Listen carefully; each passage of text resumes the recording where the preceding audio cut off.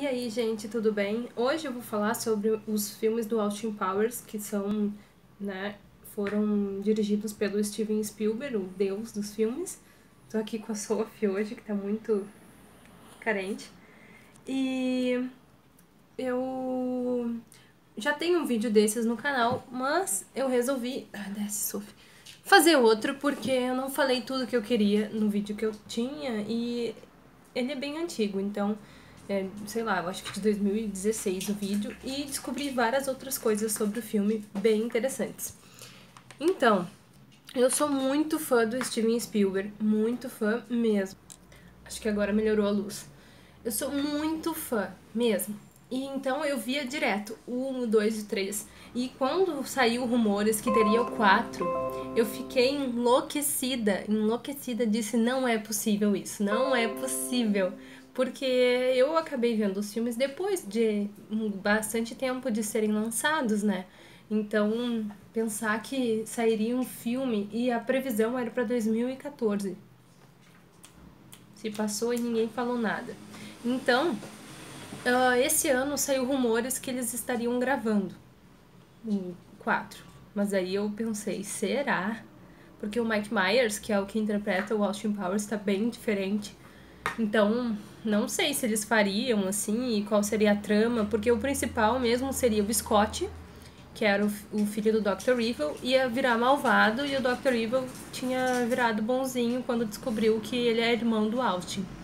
Então, eu achei assim muito legal eles pegar e ter uma história assim, porque ia ser muito engraçada também. E no final, eu acho que vai cair por terra de novo, infelizmente.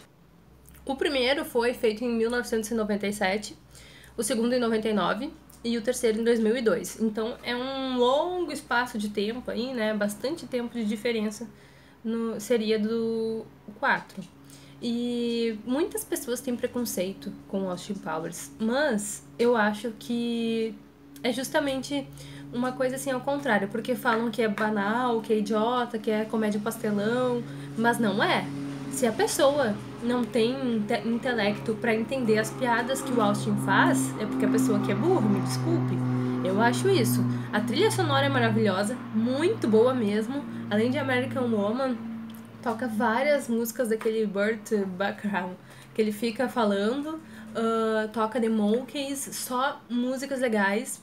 E além de tudo, assim, é uma coisa bem palhaçada, é uma coisa engraçada, mas se passa. O cara veio dos anos 60, então é um negócio para ser cômico, né? E tem toda aquela coisa de Inglaterra, dele usa as roupas igualzinho os que o do Moody's Blues usavam.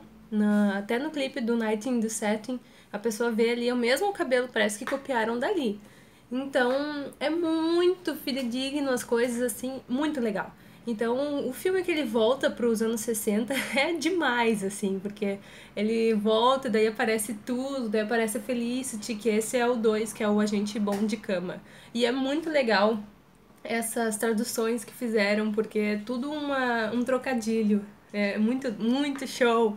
Gente, vocês têm que aprender a gostar de Austin Powers, porque vale muito a pena, assim. Eles fazem umas comédia muito engraçada. Além de aparecer o Ozzy em filmes, aparecem várias piadas, eles fazem piada de outros filmes dentro do Austin. Então, realmente, só para quem é cinéfilo ou para quem realmente entende todas as piadas que eu acho que o Austin Powers realmente tem sentido. Por isso que muita gente não gosta. E me dói dizer assim, como é que pode as pessoas não gostar, porque realmente é muito legal. Sophie, fica aí. É muito show mesmo. E também tem as fanbots, que daí eles botam com aqueles cabelão e tem a música do This Book's Made for Walking, da Nancy Sinatra. Então, tipo, tudo complementa uma outra coisa, né?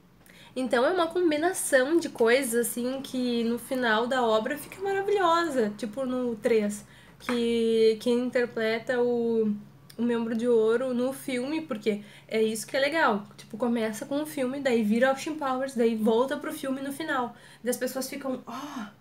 E daí ele interpreta, o de outra volta interpreta ele, sabe? Então, é muito legal. O Dr. Evil é interpretado pelo Kevin Spacey.